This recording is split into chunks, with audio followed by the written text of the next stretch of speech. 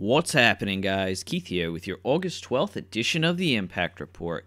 So, if you haven't checked out my review of this past week's episode of Impact, you can do so by clicking the link at the top of the screen.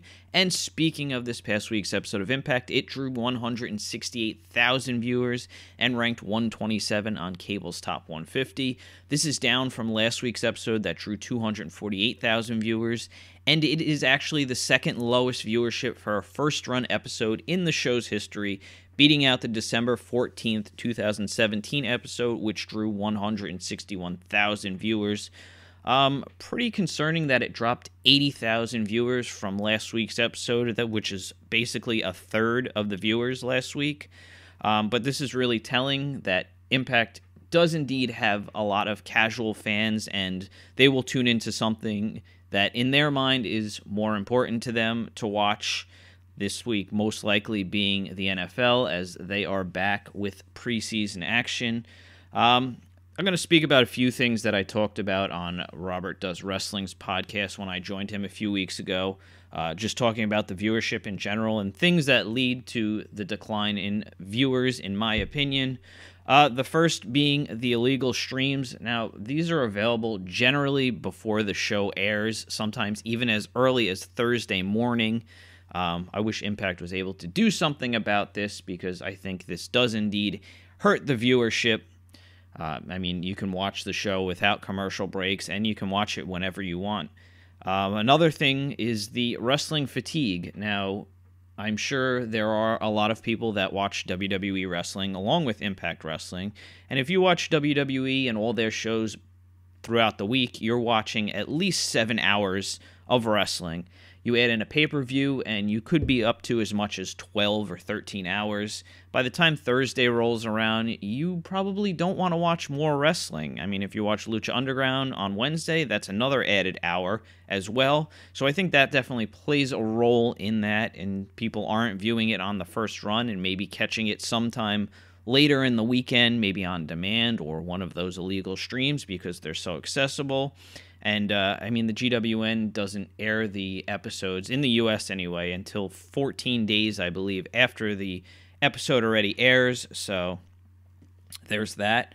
Um, also, the lack of outreach to other wrestling fans. I mean, their social media can only do so much.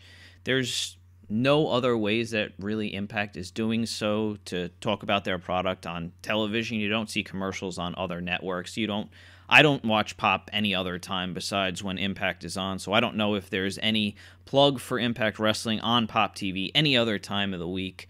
But another thing, and uh, this is kind of different from the lack of viewership, is the viewership in other regions of the world. I mean, they're now a Canada based company, so I'm wondering what the viewership is like there, over in the UK, Australia, etc., etc. I mean, if anybody from overseas would able would be able to give me a little insight on that, that information would be greatly appreciated.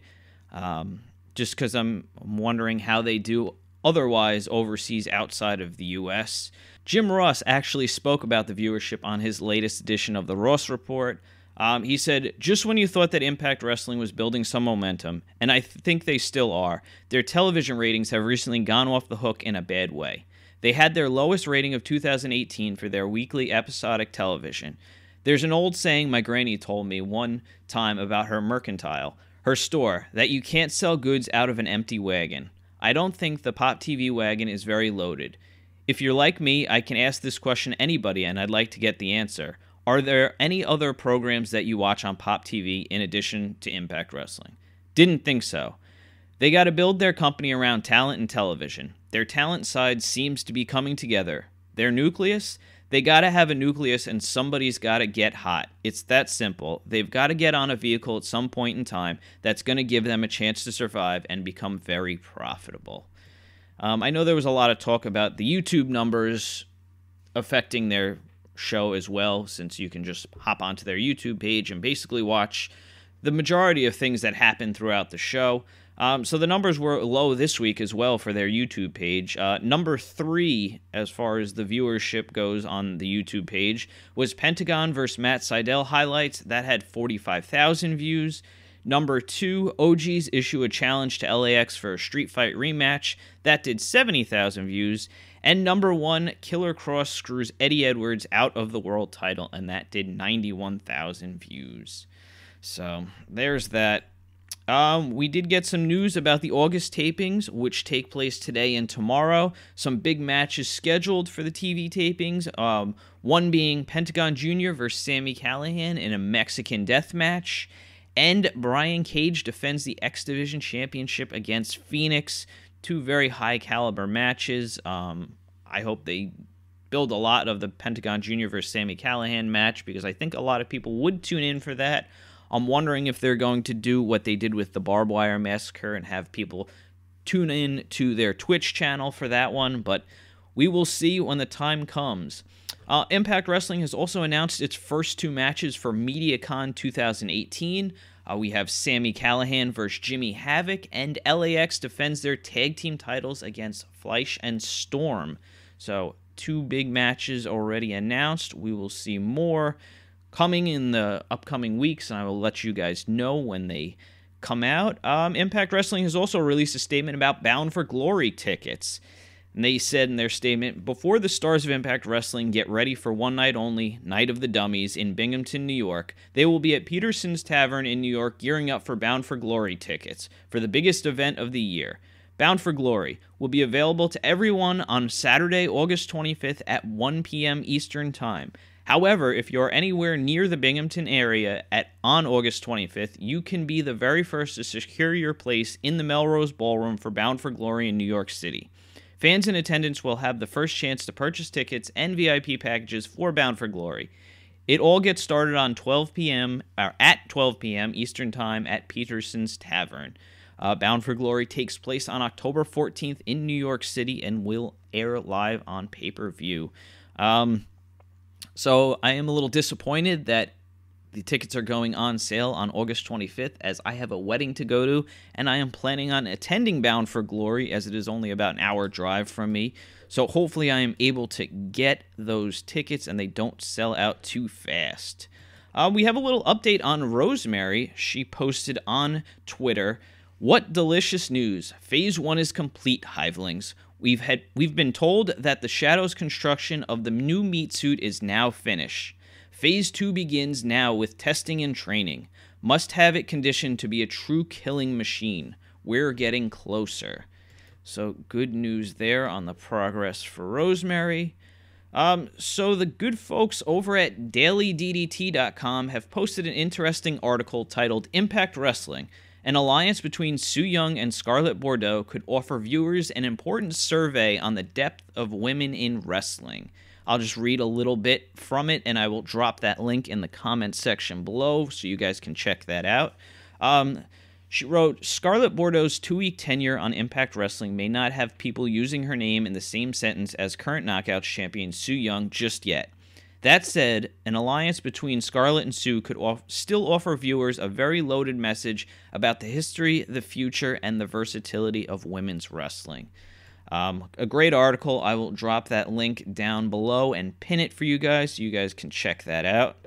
So we had Tessa Blanchard on this week's media teleconference. Uh, I'd like to give a shout out for Wrestle- to WrestleZone for providing a transcript script for this. Um, so Tessa talks about uh, running into obstacles every day. Having the last name she has is both a blessing and a curse. She says Impact Wrestling has given her a great platform and she is happy to be there. She knows what her goals are and she keeps them at the forefront of her mind. Uh, she says she wants to build upon what her grandfather and stepfather have done in the business. Impact Wrestling is her platform, and they are supplying her with the tools to do that. She's still honing her skills and still she chooses to sign or she chose to sign with Impact because she went with her gut. Uh, her family has been very supportive, but they are realists about the business. Uh, she says that Don Callis is one of her favorite people, and she says he's just a great person all around, and he's always very supportive of her backstage. Her main goal is to win the Knockouts Championship, obviously. Uh, she says she is a huge fan of intergender wrestling and she hopes to see it someday in Impact Wrestling. I, I think that would be a big thing if Impact did indeed do that. It would definitely be something different from the other main wrestling shows on TV. Um, Tessa has been in a handful of intergender matches that I've seen, one being against Brian Cage. Uh, another was, I believe, Dave Crist. She wrestled him at Wrestle Circus as well. Uh, she says she doesn't think people understand how special All In is going to be, and she's very happy to be a part of it. And she closes by saying that Impact Wrestling's women's roster is the best on the planet. Everyone is competition, but she is a different breed. She sees herself as top tier, and someday the landscape of everything is going to change. So, Brian Cage says that Impact vs. Ring of Honor thing is going down, but no one has challenged him. He has sent out an open challenge to any member of the Bullet Club to face him on the Jericho Cruise. So that should be pretty big. Um, a lot of fans speculating that he will face Adam Page, but we will see, and I will let you guys know once we get some concrete answers on who he will face. Uh, so, last thing, I have a question for everybody out there listening. So, with the Chris Jericho rumors floating around about him coming to Impact Wrestling, out of these four guys, who do you want to see Jericho have a feud with the most? One, Sami Callihan. Two, Eli Drake. Three, Joe Hendry. Or four, Austin Aries. So let me know what you guys would like to see from Chris Jericho and one of these four men down in the comment section below. Um, and that is all I have for you guys this week. Thanks for taking out the time of your day to check out my video, and I will see you guys back on Friday for another Impact review. And until then, thanks for checking out my video, and don't forget to like, share, and subscribe. Thanks, guys. Bye.